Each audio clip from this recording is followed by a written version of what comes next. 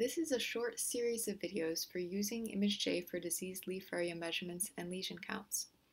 In this series, we will download ImageJ, set scale for photographs and scanned images, calculate the percentage of disease damage for sampled leaves and multiple plants, and count the number of lesions for a scanned image and a field photograph.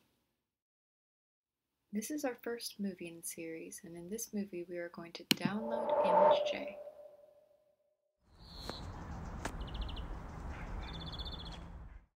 The first step, of course, is always to download the ImageJ software. In order to do that, you need to go to the ImageJ site, which in this case is imagej.nih.gov/ij. When you are there, click on Download and choose the appropriate operating system, which in my case is Mac OS X. For you, it might be Windows or Linux.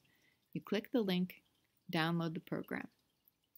Another possibility is to download Fiji, which is a batteries included version of ImageJ that has many plugins already downloaded into the system.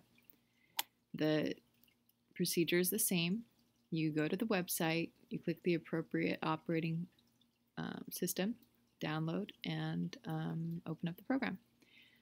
Um, you can also download other plugins into ImageJ. Uh, one example might be Weka segmentation for training ImageJ to automatically process images. Thank you for watching our video. This is the conclusion of the first in our series. If you could please like our video and subscribe to our channel, that would be fantastic. And hopefully we'll have more videos for you soon.